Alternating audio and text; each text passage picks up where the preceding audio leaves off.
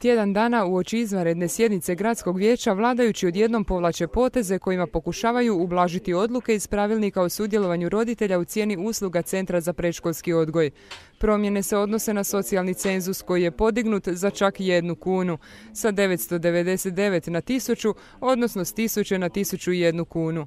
Osim toga vraća se odredba po kojoj treće dijete i svako sljedeće, ako svi pohađaju vrtić, ima besplatnu uslugu. Promjenama su zahvaćeni i samohrani roditelji, čija olakšica se povećava, ovisno o primanjima, za 20 odnosno 10%. Lakše će biti i gluho-njemim roditeljima koji kao i 80% i više invalidi imaju 60% olakšicu.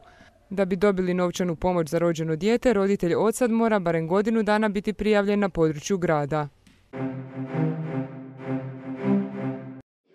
Savjet za održivi razvoj i zaštitu okoliša kao savjetodavno tijelo vlade Republike Hrvatske danas je u Osijeku održao svoju prvu izvanrednu sjednicu izvan zagrebačkog sjedišta.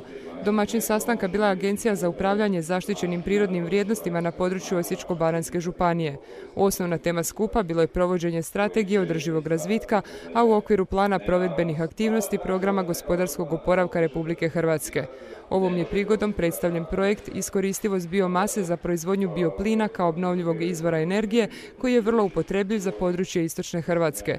Bilo je riječi o problemu zbrinjavanja onečišćenih proizvodnih voda te aktivnostima na preventivnom uklanjanju tog rastućeg problema.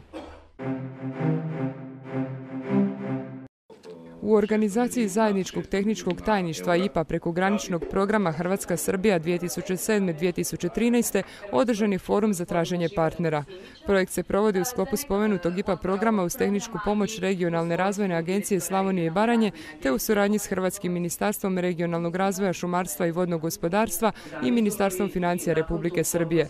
Cilj programa je potaknuti prekograničnu suradnju zbog unapređenja regionalnog gospodarstva na socijalno-ekološki održiv način uz istovremeno unapređivanje prekograničnih dobrosusjedskih odnosa. Zbog dva veća ulegnuća koja su se pojavila na kolniku u Omladinskoj ulici u Livani, otežan je promet motornih vozila na relaciji između Osijeka i Čepina. Djelatnici poslovne jedinice montaža Osječkog vodovoda izašli su na teren i još uvijek snimaju razmjere oštećenja kolnika i infrastrukture ispod njega, a do kojih je došlo uslijed nedavnih obilnih oborina.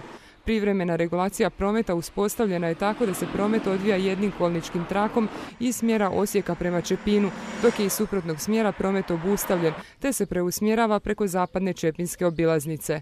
Prema riječima rukovoditelja montaže Borisa Grgurića, radovi na sanaciji vodovodne infrastrukture i ulegnuća na kolniku počeće sutra i trajati do 17. srpnja. Od sutra se ponovno za sve posjetitelje otvara zoološki vrt. On je, podsjetimo, zbog velikih količina kiše i podzemnih voda bio zatvoren od 22. lipnja.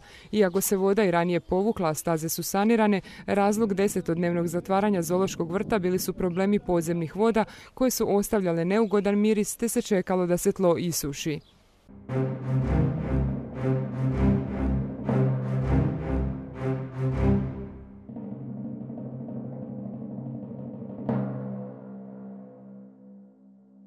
Vremenska prognoza za sutra gotovo je kopija današnje. Biće naime pretežno sunčano i vruće dok se poslije podne i navečer uglavnom u Slavoniji pojavljuje mogućnost lokalnih pljuskova i grmljavine.